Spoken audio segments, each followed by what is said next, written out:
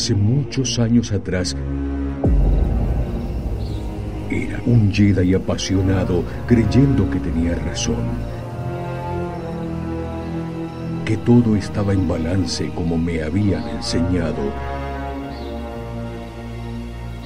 Pero me hicieron dar cuenta del error que había cometido. Y por consecuencia les hice pagar a todos los que me fallaron por esa insolencia. Y también te lo haré pagar a ti,